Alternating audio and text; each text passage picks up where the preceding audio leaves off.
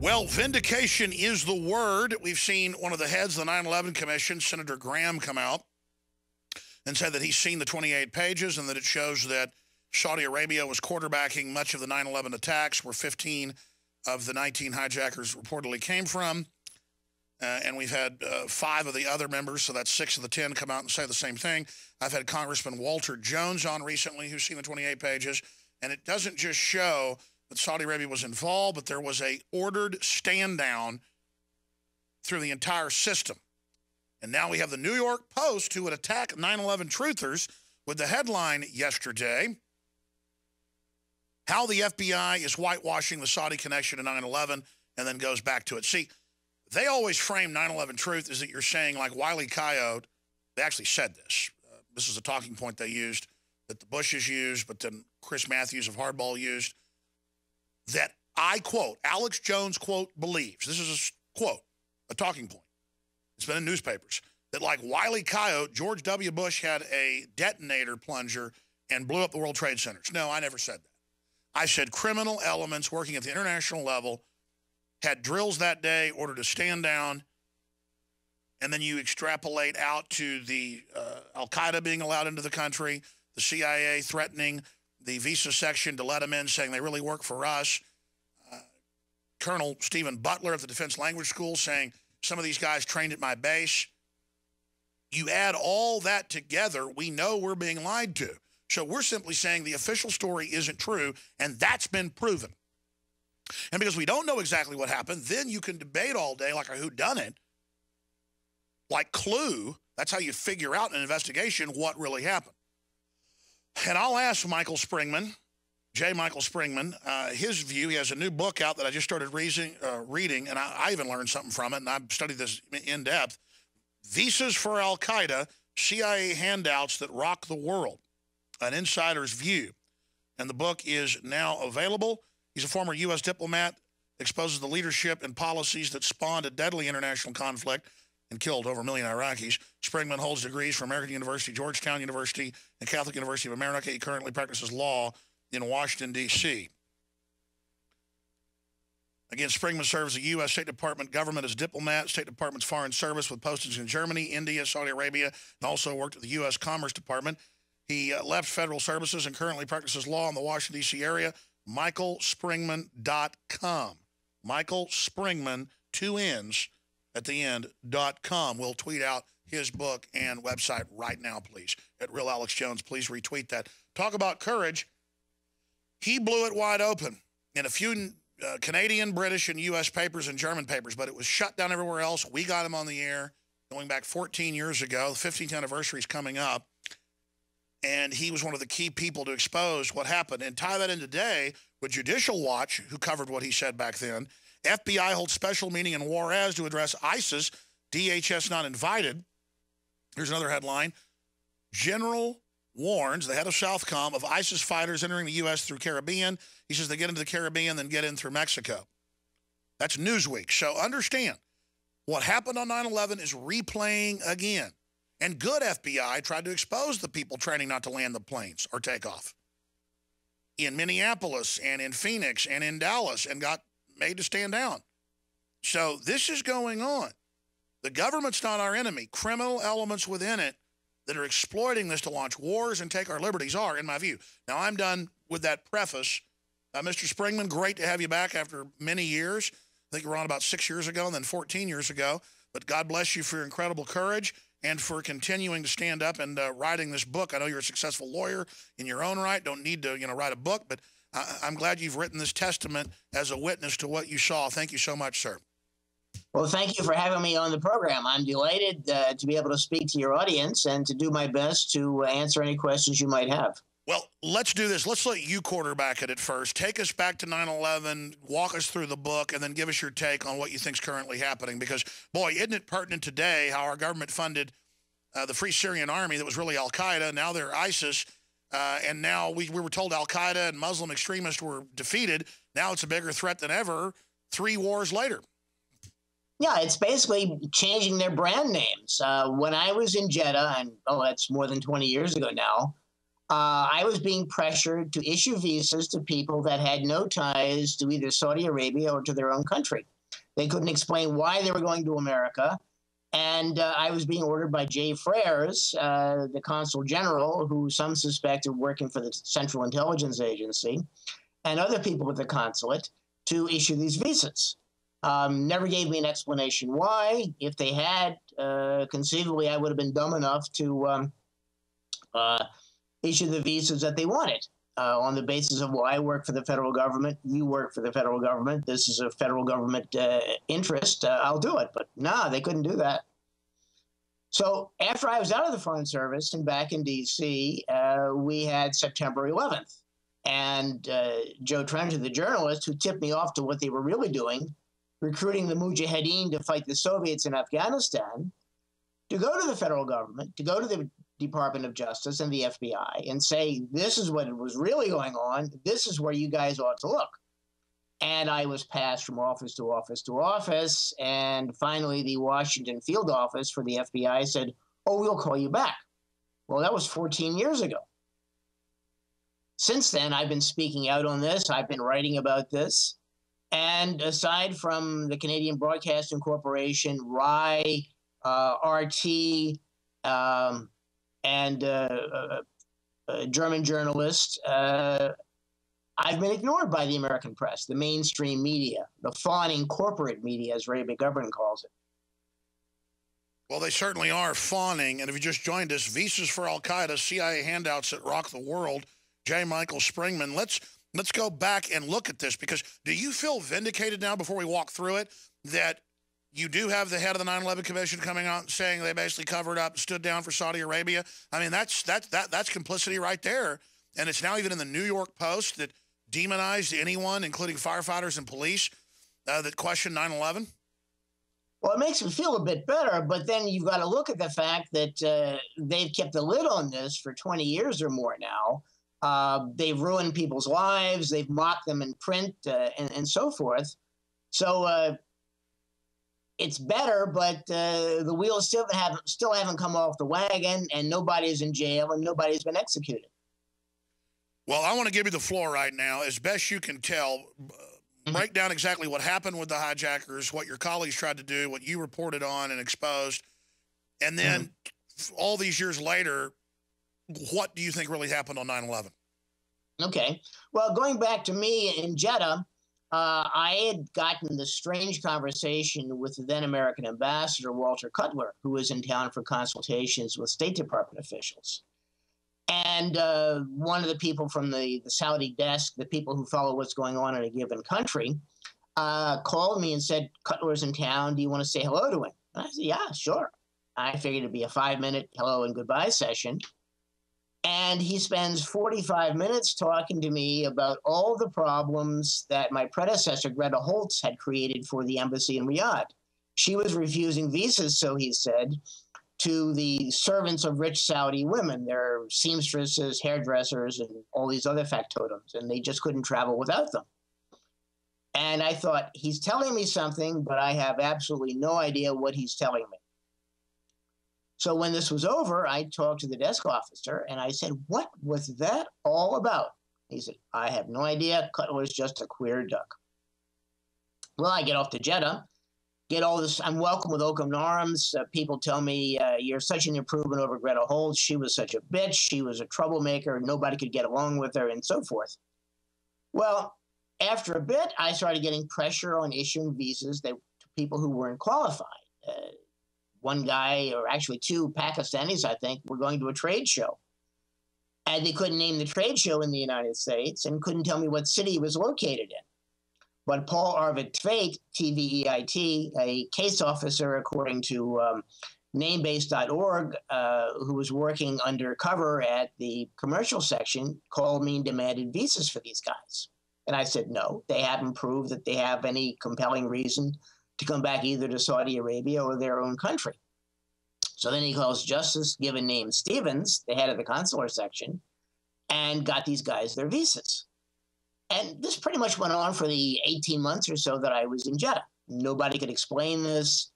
Um, and the odd thing was, Eric Qualkenbush, the um, Q U A L K E N B U S H, the head of the CIA base at the consulate, uh, he came to me and said, Mike, we've got this Iranian agent. We want him in Washington for consultations. Uh, we really need to have him there. Uh, can you issue him a visa? Wink, wink.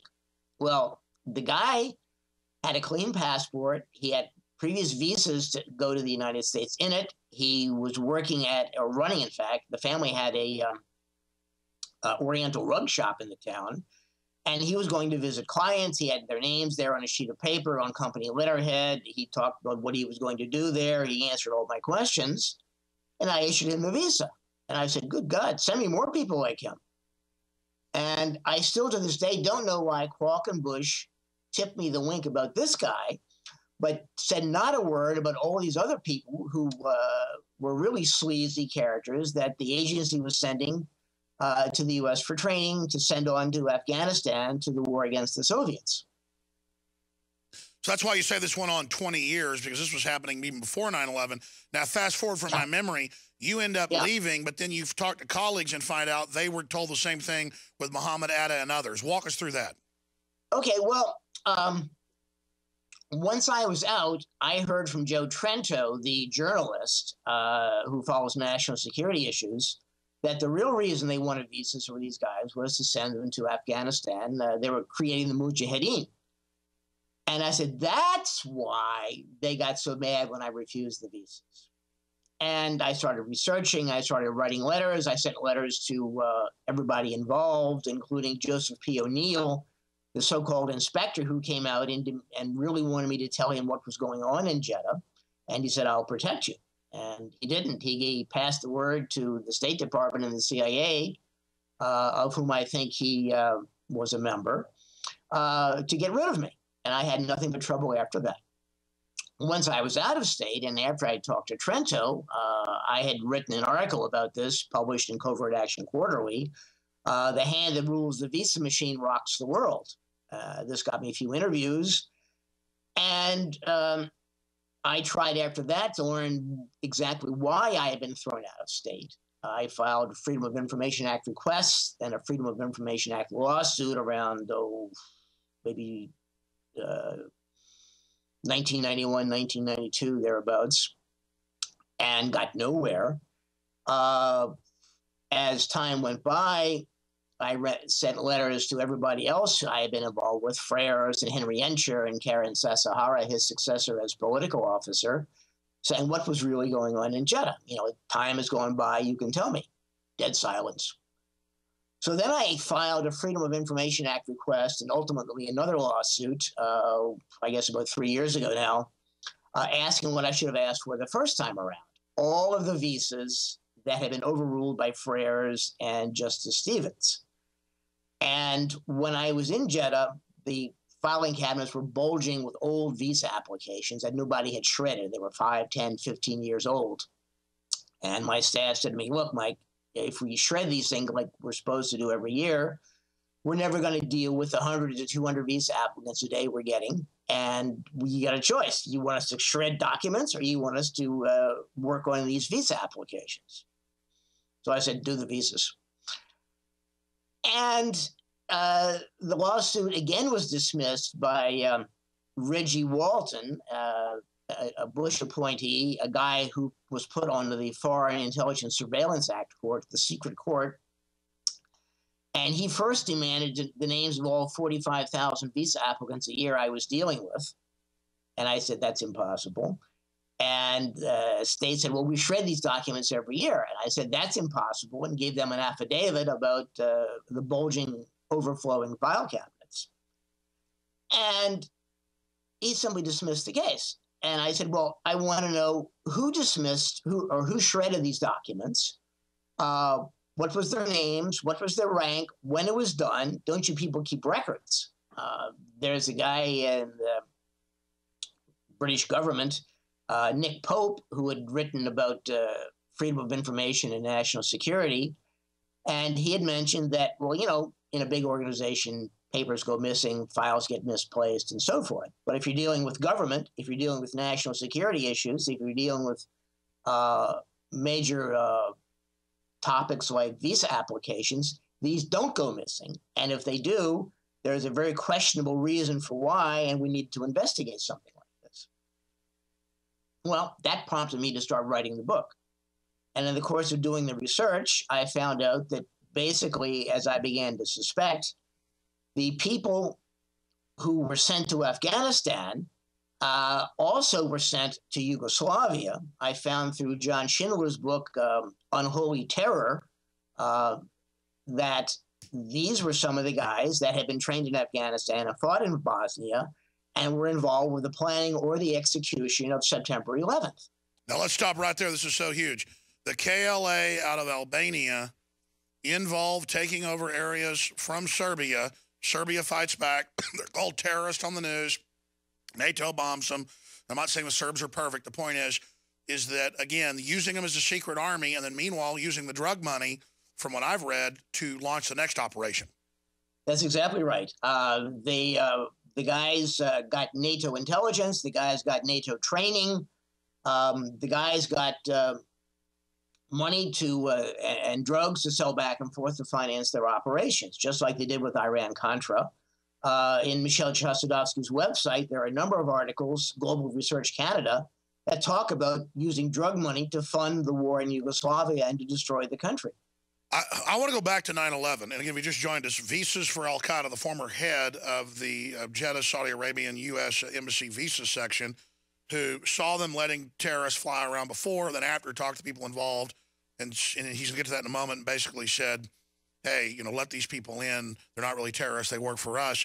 I wanted to get back to that in a moment. But to know that they are using Al Qaeda type groups as secret armies uh, against the Serbs, against our basic liberties, using that threat to take our freedoms, uh, against uh, Syria, Libya, Iraq, I mean, all over the world, this is getting so obvious. What do you make now of the reports by Southcom that ISIS is coming into the Caribbean and Mexico? and into the U.S. Is that just hype to get more government funding, or are they covering their butt? I don't know for sure. I the first I heard of it actually was uh, when you mentioned this on your show uh, just a few minutes ago. Um, I'm inclined to think this is more like uh, George Bush and uh, these other people saying, "Well, if we don't stop Iran uh, and, and, Ronald Reagan, if we don't stop uh, the Contras in in, in Nicaragua, we're going to have to stop them in, in Texas. I would suspect that this is basically hype and beating the drums for more security, more uh, removal of personal liberty, and to pump more money uh, into uh, these organizations in the Middle East sure. to destroy the rest of the, the region. Uh, there's still uh, a few people left there who are fighting back. They're doing it in Yemen.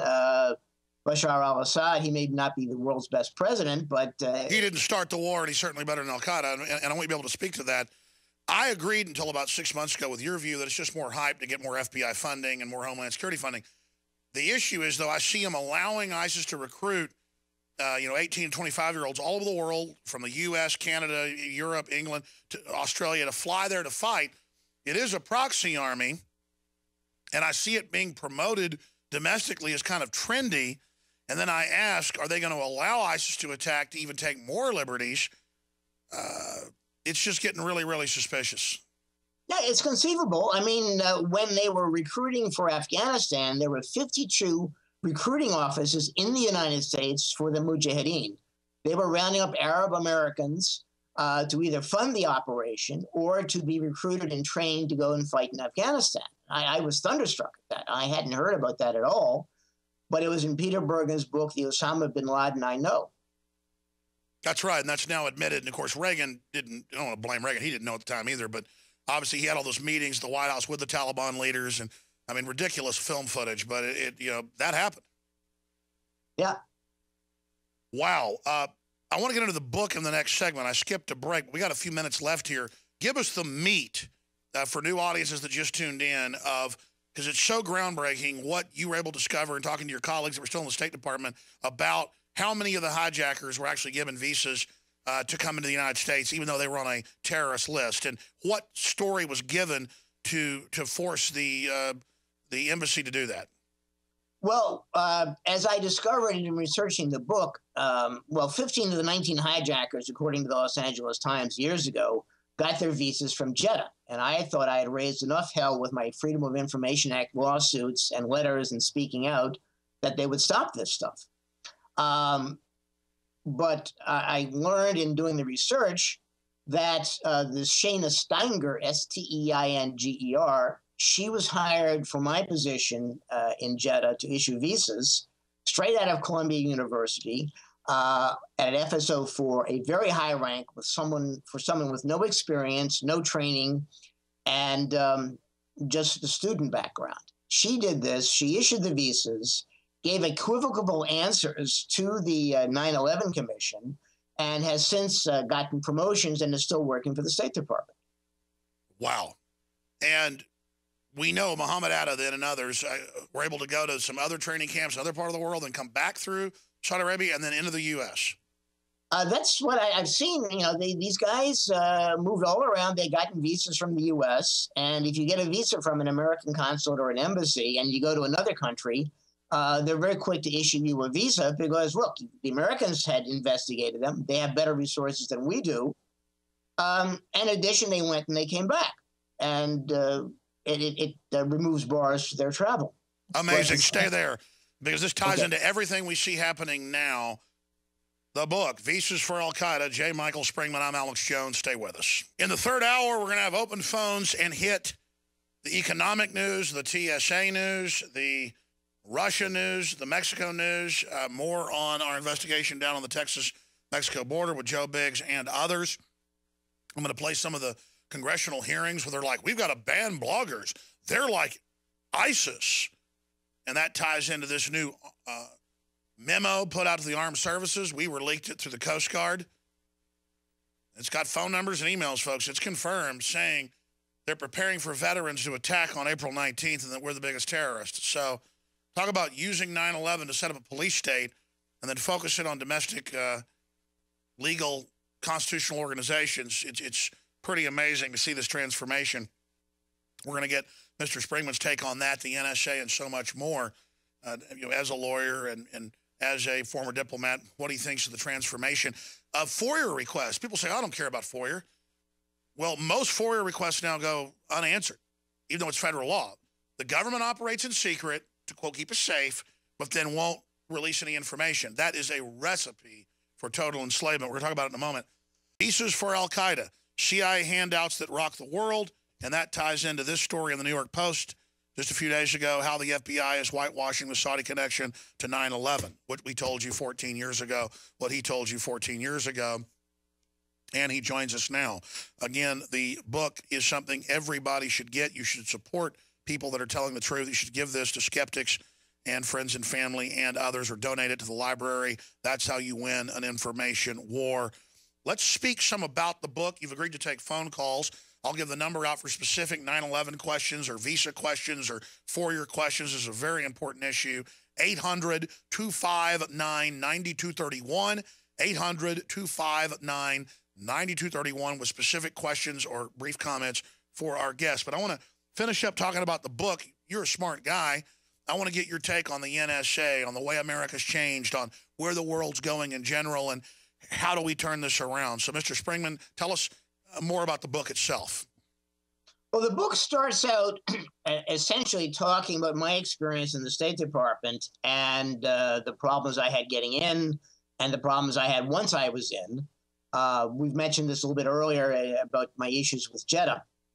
Um, I went on from Jeddah to Stuttgart in Germany, where I had been there some years before. Um, and it turned out that the two uh, two of the three consuls general that were there uh, worked for the Central Intelligence Agency. In fact, I was told by the uh, legal advisor's office at the State Department not to link day Mount, it's D A Y, like the, the day of the, the week, Mount and Doug Jones to any of the American intelligence services. Uh, these were guys that uh, blocked me from what I was doing. Um, created difficulties for me in the office. Um, and it was just absolutely amazing. They refused to do anything at all about uh, following what was going on in Germany with the younger generation. They they clung to the old guard, the people who uh, in their 70s and 80s and above, who uh, had lived through the war and the end of the war, and uh, just loved America and, and couldn't uh, or wouldn't see uh, any good in talking to anybody else who might have had a different opinion about the United States, who might have had a different opinion to where Germany was going. But uh, it was a um, it was a rocky ride there for uh, two years as well. So I went on from there and, and pointed out some of the problems these people created and uh, how they violated the law and regulation. So, bottom line, they were letting uh, Al Qaeda, Saudi Arabian secret armies have U.S. visas that basically get them in any country in the world so they could carry out their nasty operations, narcotics trafficking, murder, terrorist attacks, you name it. Oh, not in Stuttgart, but in, in, in Jeddah, this is what they were doing. Absolutely. Yeah. Can, uh, I want to continue with a book that walks through how all this works in fine detail. It's so important. But go back because you got cut off by the break. Talk about yeah. the KLA because that's come out since you talked about it.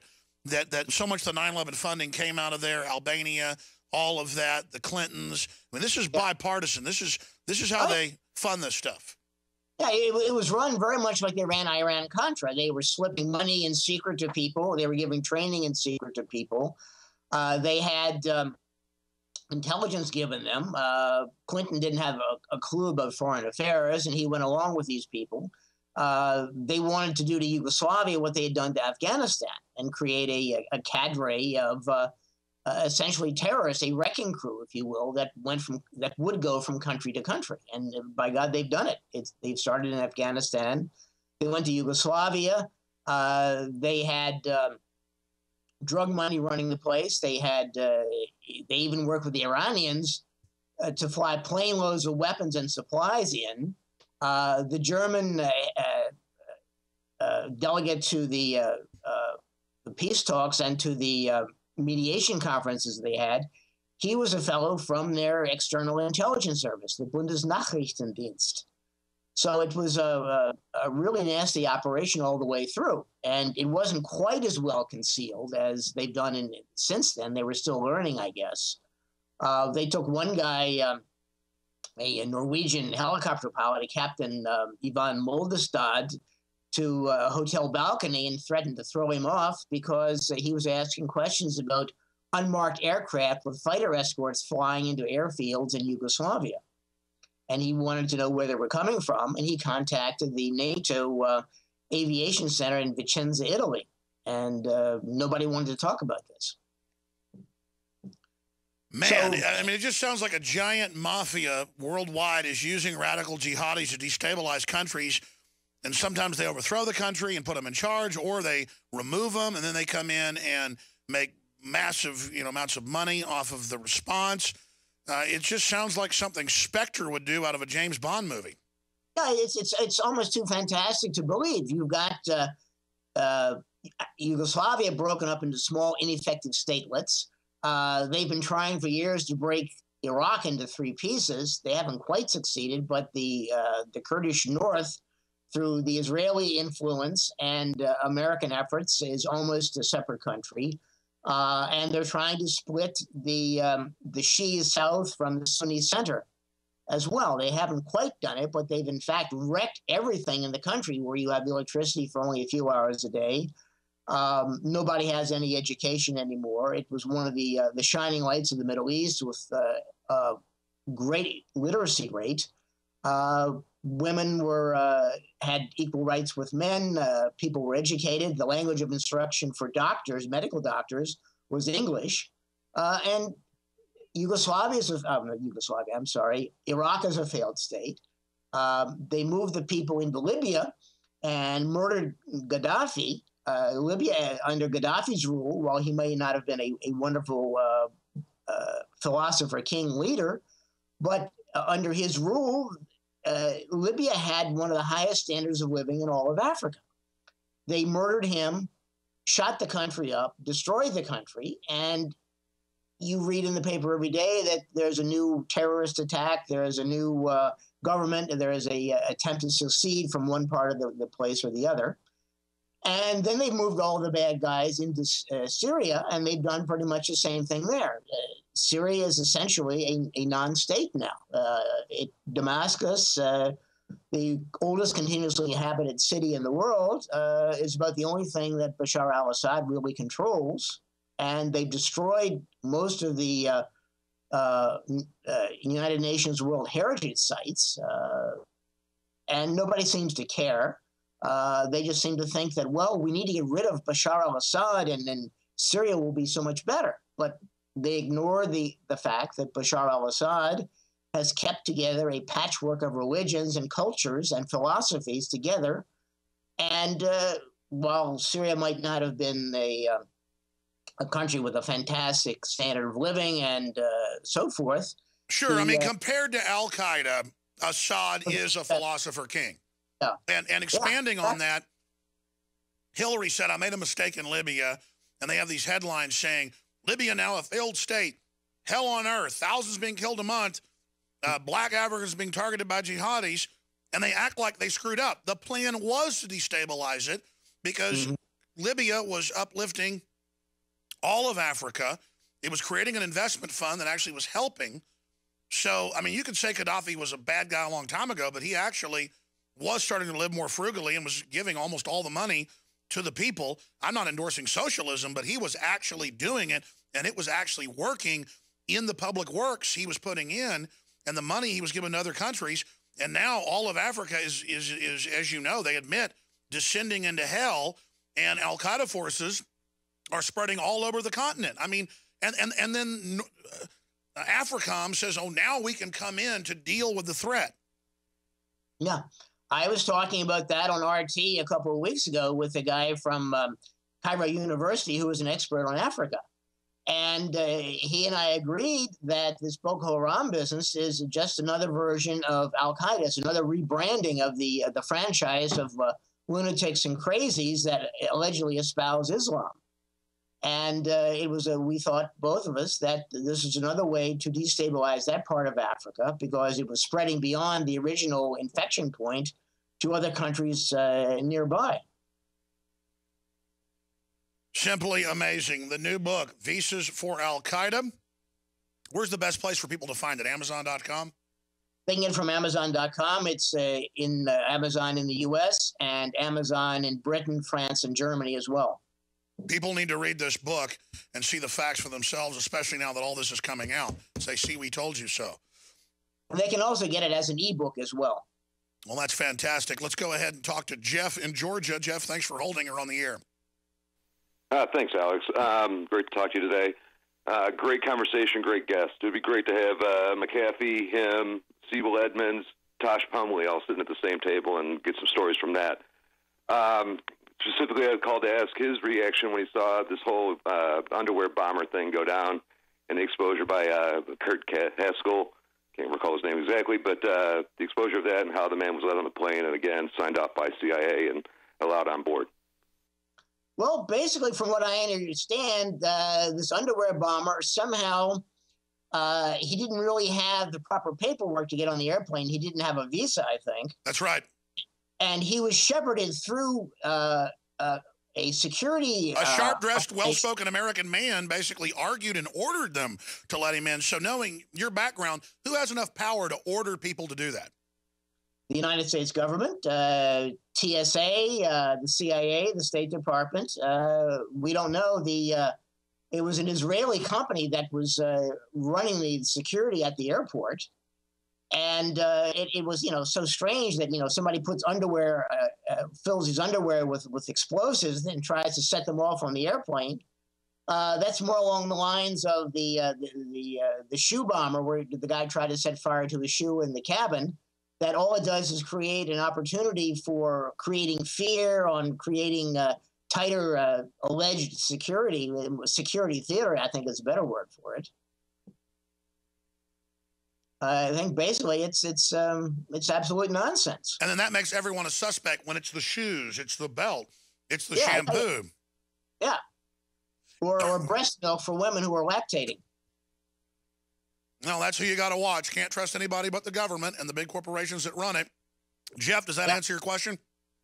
Uh, yeah, and then just to tie in that, well, we do know what the uh, you know uh, who benefited from that, and that was uh, Chertoff as soon as he leaves the government, he goes to work for the company that had the body scanners all lined up and ready to go.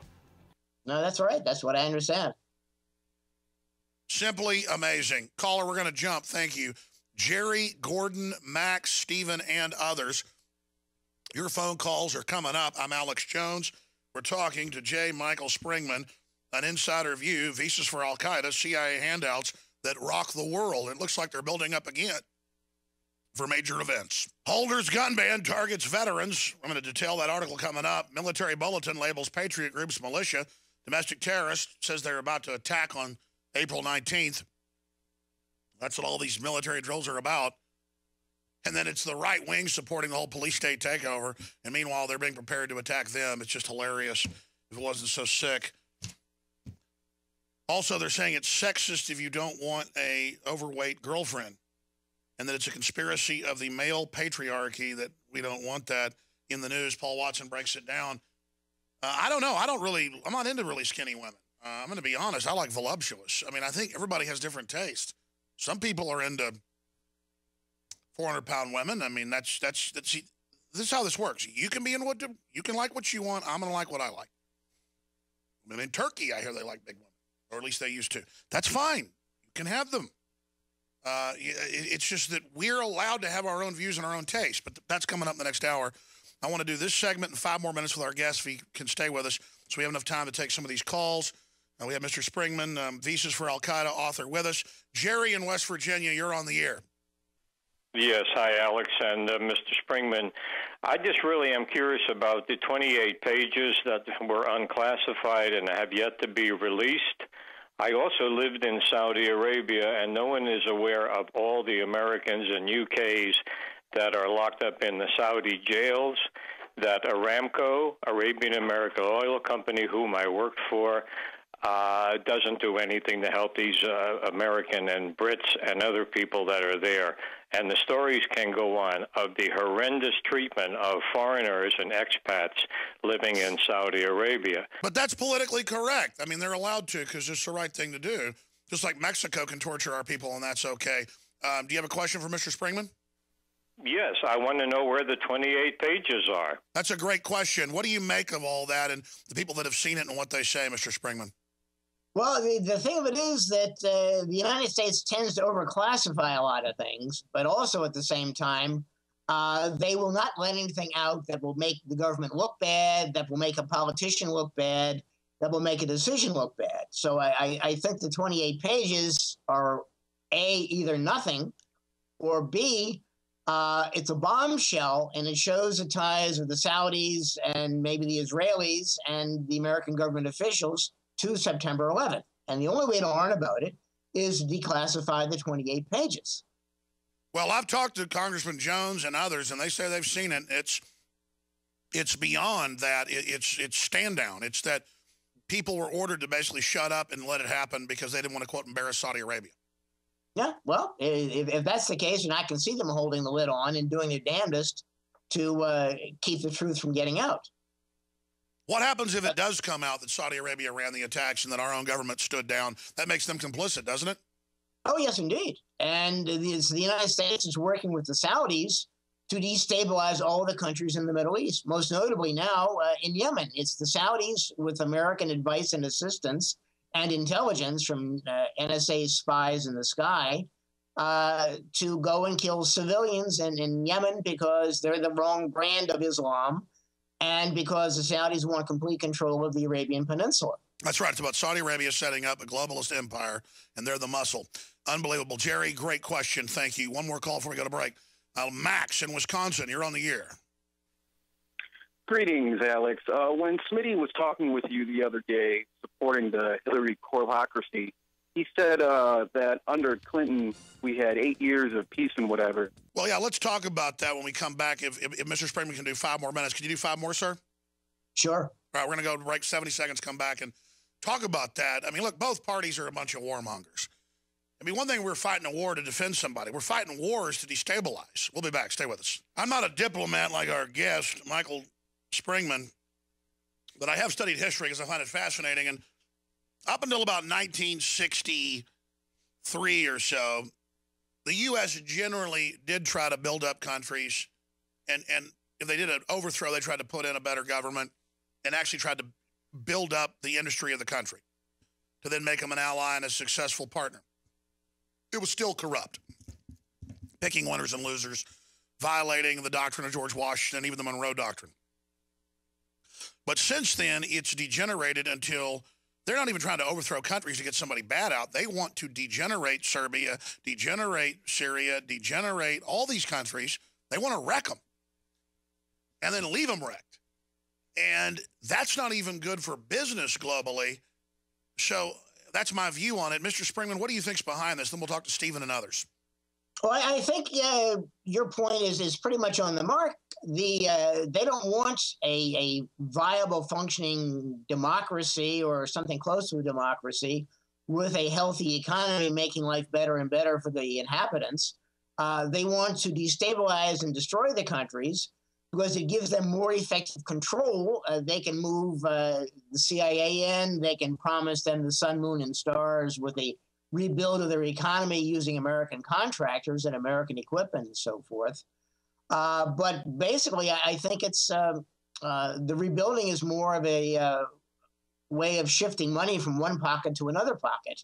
That uh, in Iraq, for example, they have all these horrible tales of corruption and uh, money going missing, but uh, nobody goes to jail for it. Nobody gets investigated. it's basically a a big scam, wreck the country, uh, give us control of uh, uh, the various factions we've created to fight one another, and uh, we'll promise you that you will have a much better country next year. Except that doesn't happen. But uh, in the meantime, money uh, is exchanged, banks get rich.